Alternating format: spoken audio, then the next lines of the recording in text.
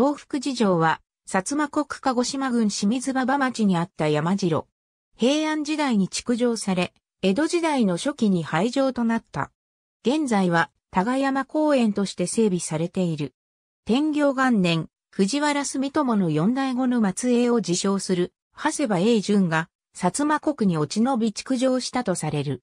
薩摩国、大隅国、日向国では、初めての城とされている。その後の推移の詳細は不明であるが、鎌倉時代には、国人の一人である八神氏の居城となっていた。南北朝時代の動乱は、辺境である、薩摩国も巻き込み、薩摩国守護であった島津氏は、北朝側、八神氏は南朝側に立っていた。島津氏は当初薩摩国国府に近い出水を拠点としていたが、やがて、薩摩国、大隅国双方に睨みの利く鹿児島に拠点を移そうとした。そこで問題となったのが、南朝側の八神氏が、鹿児島の重要地点、東福寺城に陣取っていたことであった。当時八神氏は、一族の中村光順に東福寺城を守らせていた。略王三年、島津貞久は、弟の佐田忠光に、東福寺城を攻めさせる。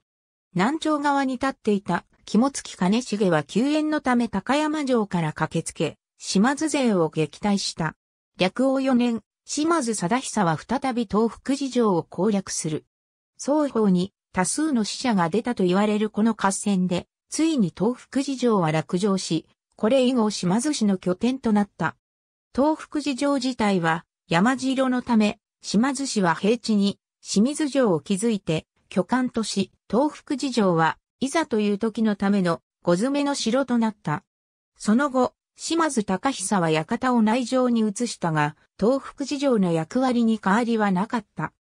天正7年に、当時の島津氏当主であった島津義久は、大見国から多賀大社を城内に勘定して、多賀神社を作った。この時からこの地は、多賀山と言われるようになる。島津忠常は慶長7年に居城を現在の鹿児島城に移す。この時、小詰の城も鹿児島城の背後にある城山に移り、東福寺城は廃城となった。現在跡地は多賀山公園となり、東福寺城跡地を示す石碑と東郷平八郎の銅像が立っている。